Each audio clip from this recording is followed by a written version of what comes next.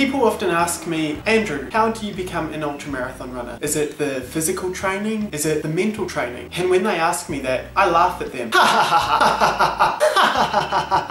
That's how I laugh at them. After I finish laughing at their question, I go on to explain that it has nothing to do with the physical training for running an ultramarathon, and it has nothing to do with the mindset of how to run an ultramarathon. You have to look like an ultramarathon runner to become an ultramarathon runner. It's that simple.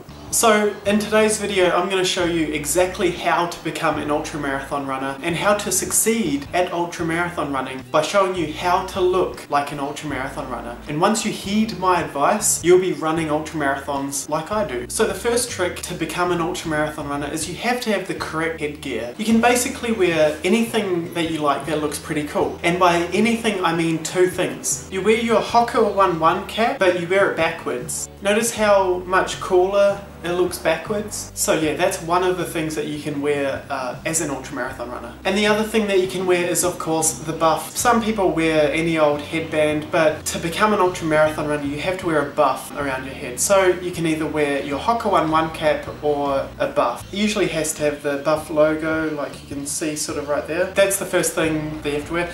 Uh, obviously you can wear glasses, some sort of sunglasses that make you look pretty good. Like I'm wearing in this video here, you can see that I'm doing an interview for a Turkish uh, documentary. You can see that I'm wearing the sunglasses. I'm not wearing the correct cap, but I mean the sunglasses make me look the part. And now as you can see, I've gotten down to the chest, torso area. Uh, this is where I'm wearing a t-shirt, but it's not any old t-shirt. First of all, it's, it's a Buff logo t-shirt, as you can see. Second of all, it's two sizes too small for me uh, which is what you want. You want to show off your muscles uh, if you have any. And a lot of people say that core training is good for running. What they're trying to say is core training is good for you to look good when you're running. Uh, that's basically the real reason. As you can see, my, my torso looks alright because I'm wearing this extra small shirt. And I mean, my arms are looking pretty good. And I'm looking quite buff in this shirt. And that's the look that you want to go for. You want to accentuate any muscles that that you might have and by wearing these tiny shirts that are too small for you will help you achieve that look and that and that goal of becoming an ultra marathon runner. I understand some people might have a bit of a stomach when they're wearing these tight fitting shirts but the key is to suck it in and um, try not to breathe heavy when you're running these like 100 kilometer 100 mile races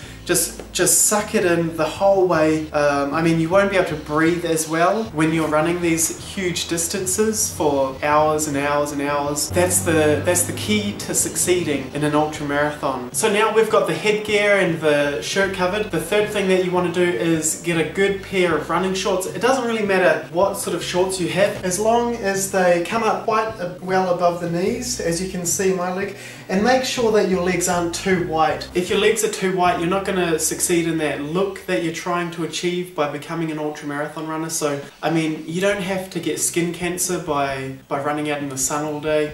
You can just um, apply some sort of bronzing agent or something just to get your legs a little bit browner um, to achieve that look of an ultra marathon runner. If you're not into tanning agents, uh, if you don't like the smell or the mess or something, I'll tell you my little secret, which is what I like to do, is I like to soak my legs in a bathtub full of tea bags and obviously obviously water. I'll use about three to four boxes of tea bags and soak my legs for about 30 to 40 minutes.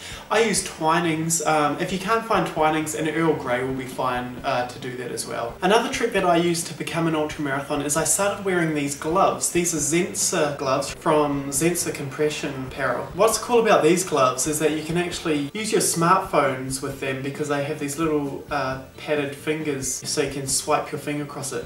But that's not the reason why I wear them. The reason why I wear them is because you look good wearing them. They have this nice velvety, sleek design to them. So when you're running an ultra marathon, you've got these on. People automatically know that you're an ultra marathon runner because you're wearing these things. They'll see you and they'll be like, that person, that person right there knows what he's doing. Now, one of the most crucial elements of becoming an ultra marathon runner and succeeding as an ultra marathon runner is wearing compression clothing. Uh, I recommend Zensah, not just because that they work, but because they make you look so good. I'll give you an example. As you can see, these compression garments show off my butt so well.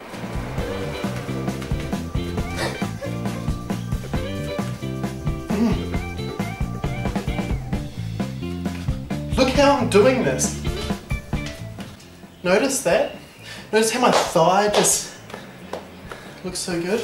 What about socks? Some people have problems with blisters and they use uh, these Injinji toe socks but the real reason why you want to wear them is because they look good and some people think they look cute so and I mean that's only a bonus.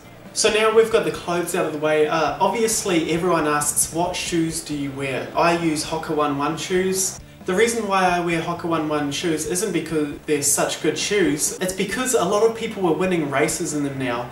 So when people see you wearing Hoka One One shoes, they'll look at you and they'll just automatically think that you're a winner. And uh, that's definitely the look that you want to go for.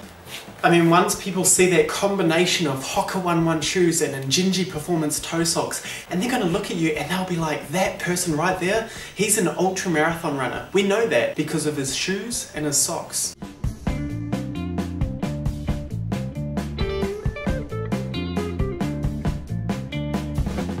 So there you have it guys. So I hope that these uh, important key points have, um, have helped you on your journey to becoming an ultra marathon runner. Take my advice because there is no better advice than what I've just given today. No matter what you read on the internet, people going on about how it's a whole mind thing and you got to train for months and months to prepare yourself for an ultramarathon. I would suggest training in front of a mirror to how you're going to look while you're running that ultramarathon. Your mind and body will already be trained. You'll be able to go out there and run 100 kilometers, 100 miles. You'll be able to do all of that because you will look like an ultramarathon runner and that is the key to becoming an ultramarathon runner.